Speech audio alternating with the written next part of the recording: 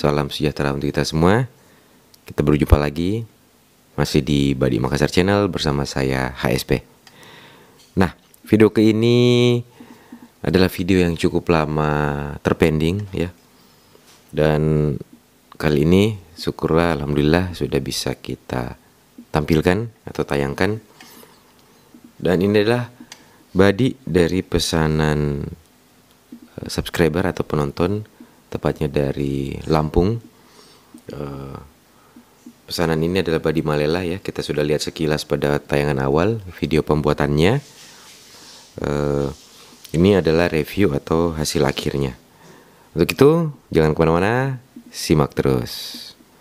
Oke, okay, tanpa berlama-lama lagi, mari kita mulai saja dari tampilan luarnya.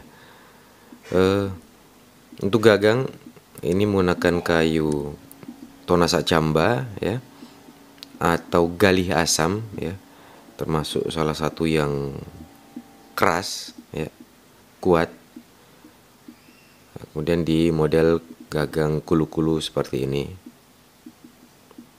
Ya untuk ini lubang tembus ini eh, biasanya juga dimasukkan tali sebagai pegangan atau untuk eh, memperkuat genggaman pada saat memegang badi ini Kemudian kita lanjut sumpah uh, dari perak yang diukir ya, motif kembang dan daun. Lanjut pada sarung kayu akasia yang sangat cantik ya, bariknya seperti loreng harimau ya. Barik seperti loreng-loreng harimau ya. Lurik-luriknya.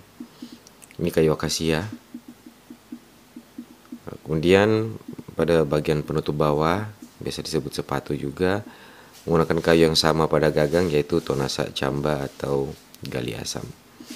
Untuk bilah eh, modelnya model-model badi bugis lebih condong ke arah model badi gecong dengan bahan racibong dengan tujuan untuk menjadi badi atau sebilah badi malela.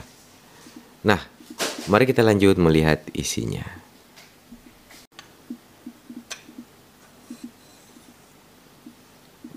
ya ini dia isinya. Uh, bisa kita lihat jelas lacaknya. Lebih condong ke lacak badi gecong.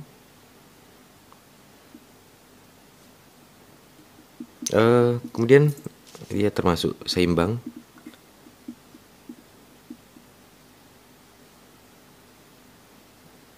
Eh ntar.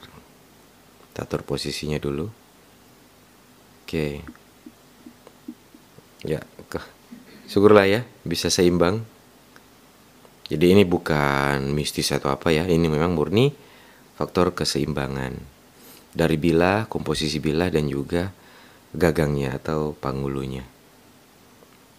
Oke, ya ini ya. Ya.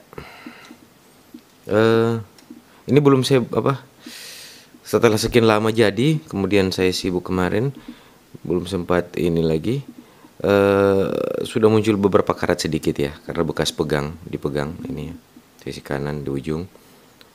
Uh, bekas dipegang waktu di pamusa atau di gala-gala kemarin. Kemudian seratnya sebetulnya ini uh, kalau ditompang satu kali lagi sedikit lebih jelas lagi seratnya serat-serat bambunya itu Ya seperti biasa, nantilah di terakhir video kita lihat uh, video detailnya. Ini sudah nampak serat bambunya. Tapi belum terlalu halus karena memang ini uh, porinya masih sangat licin. Ini kalau dipegang masih sangat licin dan halus. Ya namanya juga badi baru ya. Atau tempahan baru jadi. Nah, ke depannya ini uh, untuk lebih dapat berserat atau bagaimana serabutnya itu akan bisa tercapai kalau nanti lebih sering ditompang atau terkena air jeruk. Ya, ya, ini masih sangat licin ya, masih sangat mulus permukaannya. Untuk ketajaman ya sangat tajam ya, sudah saya asah maksimal waktu itu. Ketebalan, ya ini dia. Uh, oh ya, pada bagian sini terdapat belang, ya, ya di sini.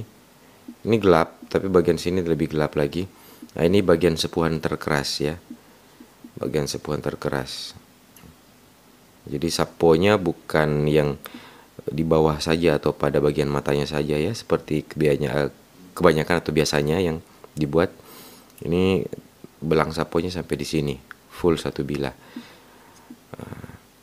beda halnya untuk yang Malela Makassar ya nanti yang lampu batang dia saponya memang lebih uh, nampak yang pada bagian bawahnya ya simple praktis dengan panjang mungkin sekitar 17 eh 19 cm ya. Ya 19 cm genggamnya enak ini.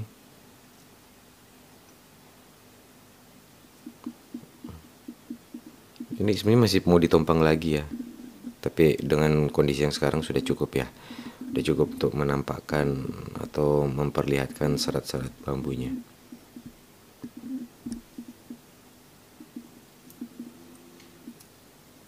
Ya kita bisa lihat di sini. Oke.